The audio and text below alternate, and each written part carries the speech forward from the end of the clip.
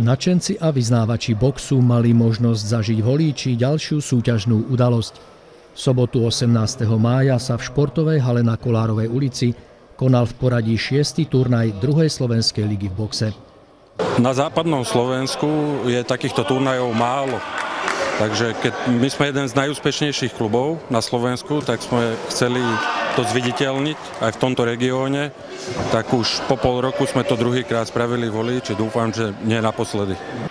Organizátori z domáceho box klubu privítali spolu s primátorom 48 súťažiacich z 15 klubov. Vo viac ako 5-hodinovom súperení videli diváci 24 duelov v rôznych vekových a hmotnostných kategóriách sekundant z ringu, ring prvé kolo.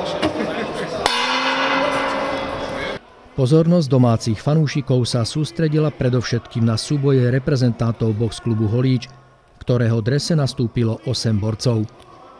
Už v úvodnom dueli súťaži starších žiačok v hmotnostnej kategórii 56 kg nastúpili proti sebe dve domáce pestiarky.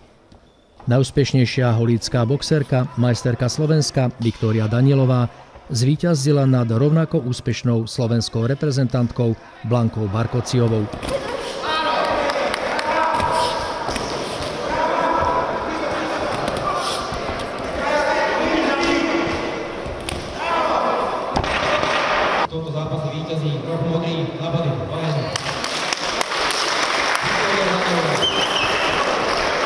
Danielová dnes vyhrala, čím sme moc nepočítali, lebo bola chorá a nemala toľko natrénované, ale tá technika jej zostala a dnes sa ukázala, že, že to vie stále.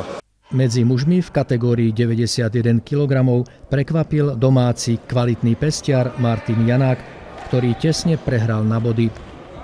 Naopak najviac potešil Ondrej Macek v súťaži mužov v kategórii 91 kg, ktorý nastúpil na svoj prvý zápas a dokázal v ňom poraziť favorizovaného súpera z Dubnice. Dostali sme sa na takú úroveň boxu, že už ťažko hľadáme súperov pre našich boxérov, lebo dá sa povedať, že už sa ich boja z ostatných klubov. Holícky box klub zaznamenal na turnaji tri výhry, tri prehry a dve remízy.